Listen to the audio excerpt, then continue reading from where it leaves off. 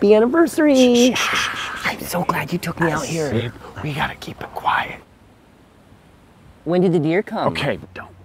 It's not cute. Don't.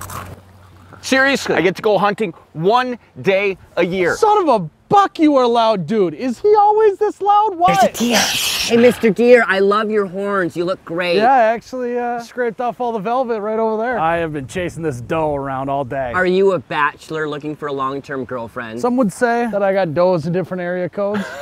That actually might be the way to go, honestly. I'm kidding. Wait, you two, you're married. Yeah, she she can be a handful sometimes, but I I love her. That sounds like the worst.